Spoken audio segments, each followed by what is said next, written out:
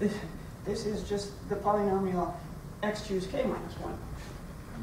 How did we not know that? I, I asked so many people, what is this a sequence of pictures of?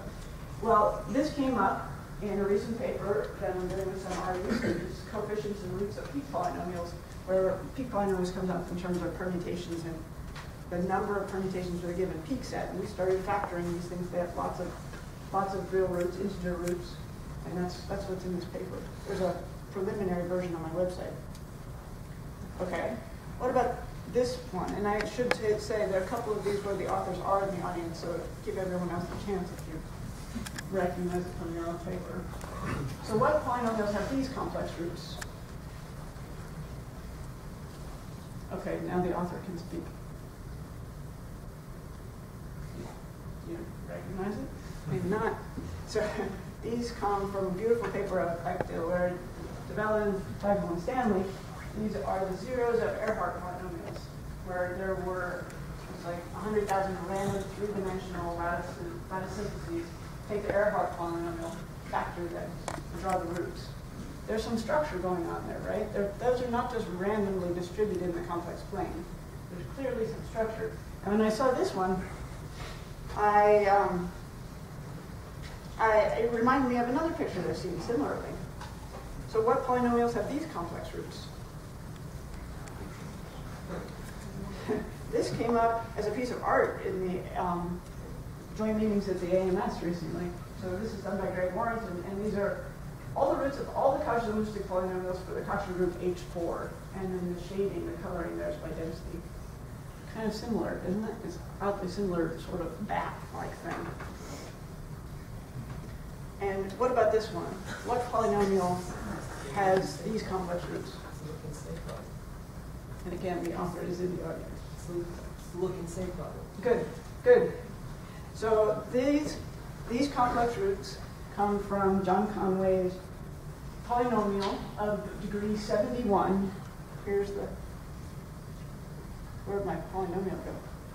Oh, that slide got deleted now. I found the polynomial. It's degree 71. I used the version of it that's on the OEIS.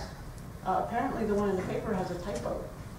I learned that from the web too. The, the, the x to the 35 should be minus, should be plus and not minus. Um, but do you have a picture with the typo? I actually do on my computer. I just ran it. And you know, I couldn't tell the difference between the roots because of course the x is 71 dominates. But um, so what the, what happens here is this beautiful, this is one that maybe is for the K-12 situation, right? The look and say sequence is one, and then you read what you see. So one, one, and when you read the next iteration, you see two ones, and so on. So on each iteration, you have a sequence.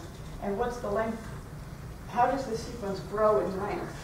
Well, the size varies in a proportion constant, proportional to a constant. That's the Conway constant on Wikipedia.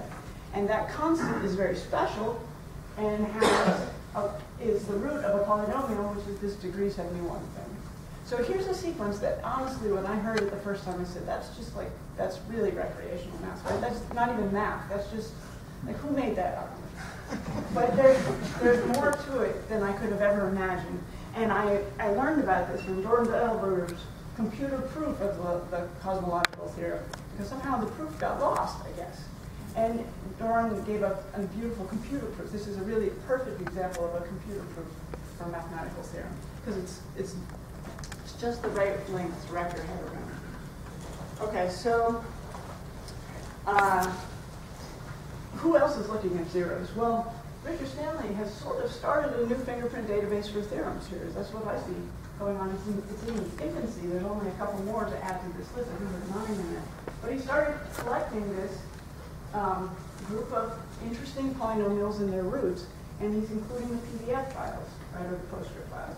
This is sort of how I think this database should go. I think it should be a collection of PDF files, and then you should be able to use machine learning to scan through these files and see what fits your picture the best and then it points you back to the literature.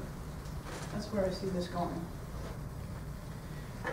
But that's kind of a vague statement, right? So I am I'm, I'm thinking about this quite a bit. So what is the best way to fingerprint theorems characterized by a finite set of graphs? Maybe this is the right, maybe there's other ways. Or what is the best way to fingerprint pictures of complex roots, for instance, in polynomials? Maybe they should be in two separate databases. I'm not sure putting them together makes sense, but, but maybe it does. So what's the best way to fingerprint any theorem characterized by pictures? And one of the things that Bridget and I talk about in our paper is what's, what sort of gave Bridget the push, I think, to make this permutation database um, for, for permutation patterns when I was kind of stuck and thinking, oh my God, how's that ever going to work? How are you going to get started? I wanted to make it perfect. And she got started, and that's better. And it made me think of this quote from um, Rod Brooks. I used to work in his lab as an undergrad. He does artificial intelligence and robotics and things. And he, there was a whole movie called Fast, Cheap, and Out of Control, which is, was his mantra. And the idea is you just make your little robot as stupid and cheap as possible, make lots and lots of them, make lots of mistakes, but you get something done fast. And so we have the same thing in front of us. So don't wait for the perfect fingerprint mechanism to start the collection. Get going with whatever you can. And I think that's what happened with the OEIS, right? It started out as a, a small sequence in a notebook, and it builds to something. You just have to start somewhere. So I'm going to revise those research problems for myself, for you too. It doesn't have to be the best way to encode pictures. We're really just looking for a good way to encode pictures and related theorems. Oh. Okay, so a very happy birthday to Neil and to the OEIS. 125 years combined, pretty amazing. And I, in particular, thanks for your contributions, Neil, both to the OEIS and also I think you're very kind in terms of helping me along the way with my questions and concerns and always answering emails. Somebody, you know, somebody has to be there to make something like this work. And thank you to all of you for all of your contributions because really this is such a worldwide effort. It's amazing. And I, um, I want to add one more thing. I decided to celebrate, or not celebrate, but observe Yom Kippur this year as a Unitarian. And that's what I am, a Unitarian who celebrates Jewish tradition. So I thought I should atone for my sin, which is I have not contributed to the OEIS financially. So who do I give this to?